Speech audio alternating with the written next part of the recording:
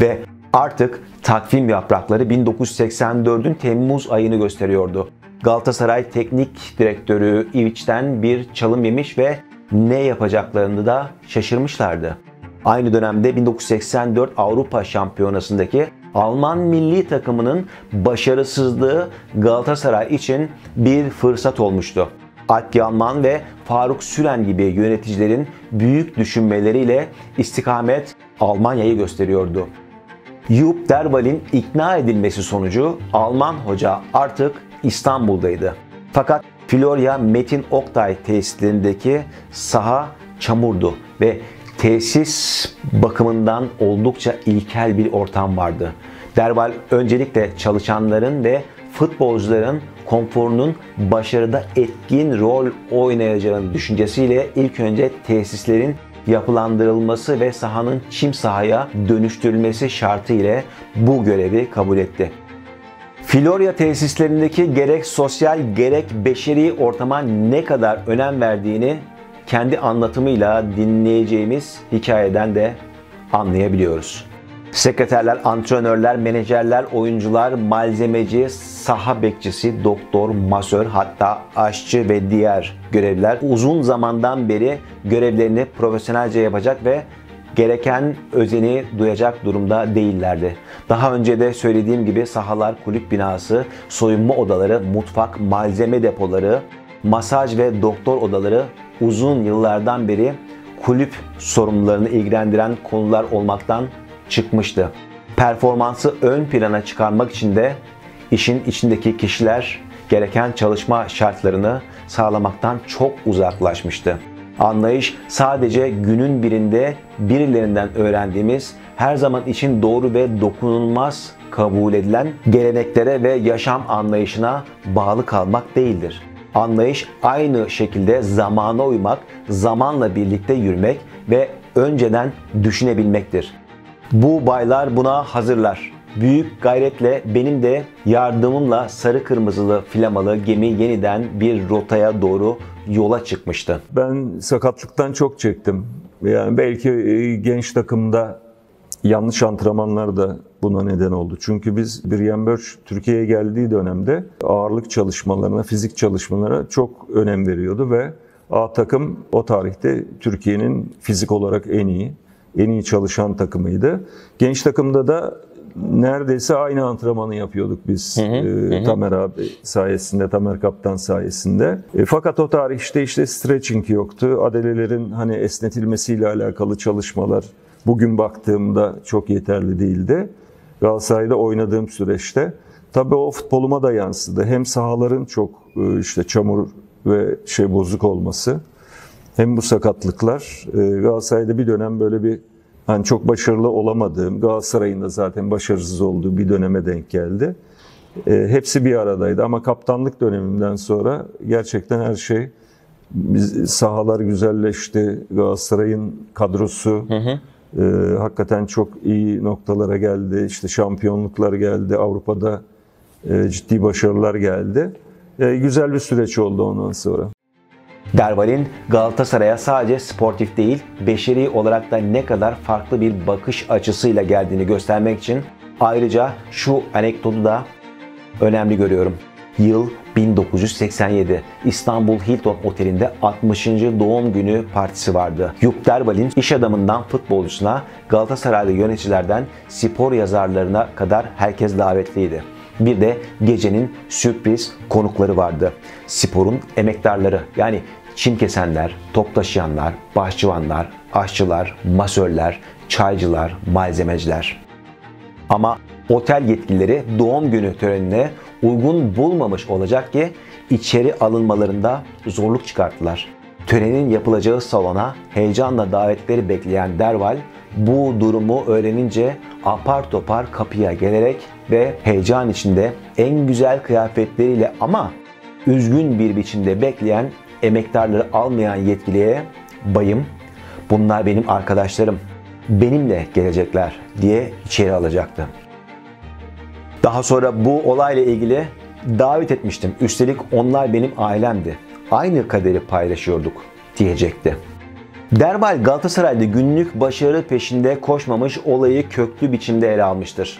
Bu arada zaten yapılmakta olan tesisler onun için avantaj yaratmış ancak mevcut yetersizlikleri, organizasyon bozukluklarını aşmak için yine de epey zaman harcamıştı. Yakın deplasmanlara giden otobüsün perişanlığının futbolcular üzerindeki olumsuz ve psikolojik etkisinden tutun da tesisin yetersizliğinin getirdiği çalışma ve dinlenme eksiklikleri başarıyı engelleyen temel faktörler olarak ortadaydı. Ayrıca oyun içinde futbolcuların kangrenleşmiş yanlışları da vardı. Çok top tutmak, bir yana geriye oynamak, yardımlaşmayı bilmemek gibi teknik yanlışlar da başarıyı engelleyen öteki etkenlerdi. Çalım yerine pas, yan veya geri oynamak yerine sürekli ileri gitmeyi düşünmek, üst düzeyde yardımlaşma, hücum ve orta alanda pres gibi çağdaş futbol değerlerini Galatasaray Derval ile birlikte kazanmıştı. Türk futbolcusunun bir hastalığı da futbol dışı sertlikti. Rakiple ve hakemle çok oynamaktı. Bunun en büyük zararı da yurt dışındaki maçlarda ortaya çıkıyordu. Özellikle ceza alanı çevresinde çok fazla faul yapan, çok fazla kart gören futbolcular başarıyı engelliyorlardı.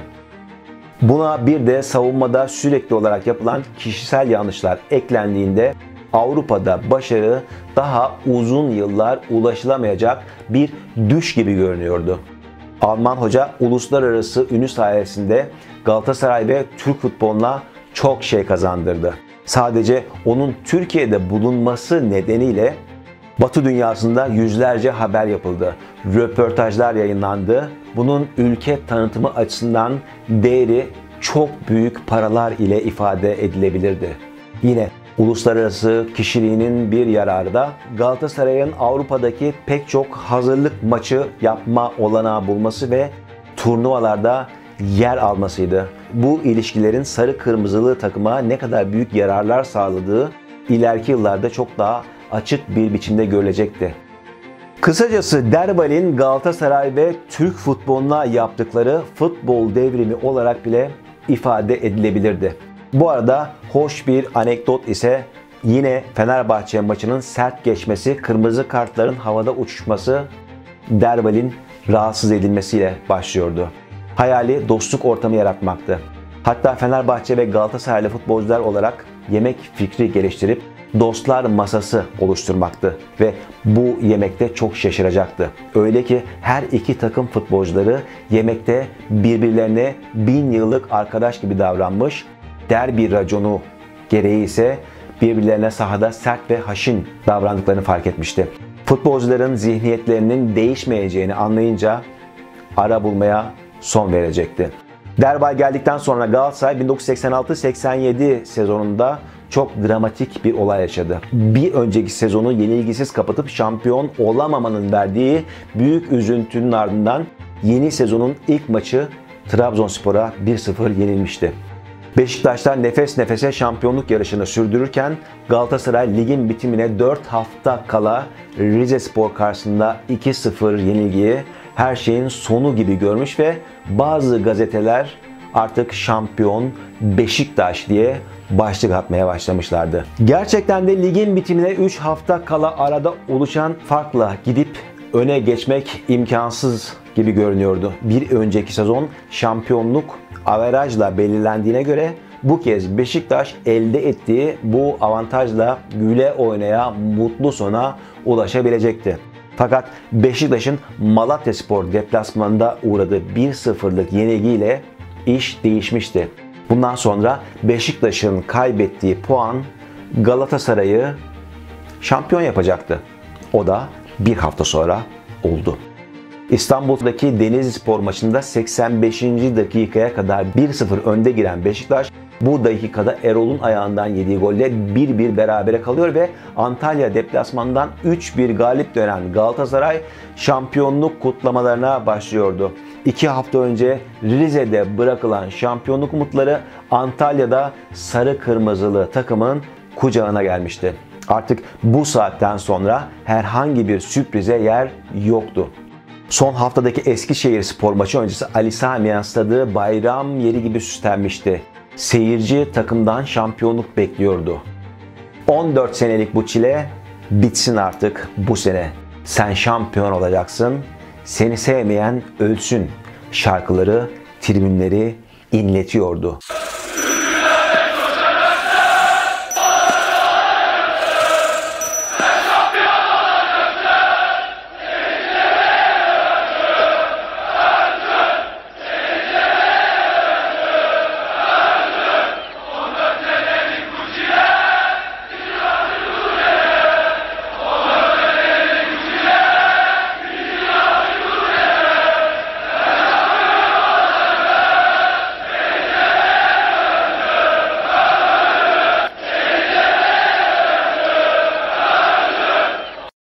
Sarı Kırmızılı takım 1973'teki son şampiyonluğunun üzerinden 14 yıl geçtikten sonra Cevat Prekazi ve Muhammed'in golleriyle Eskişehir Spor 2-1 yenerek 14 yıl aradan sonra mutlu sona yani şampiyonluğa Yup Derval ile ulaşıyordu. İşte 14 yıl aradan sonra bu kupayı sahada futbol hayatı boyunca tek bir kırmızı kart görmeden bitirerek dünyanın en centilmen futbolcuları arasında yer alan Galatasaray'ın bir başka efsane kaptanı Cüneyt Tanman'ın eller arasında kendisinin ilk şampiyonluğu Galatasaray'ın da şampiyonluk hasretini bitiren kupa olarak havaya kaldırıyor ve tarihe adını yazdırıyordu.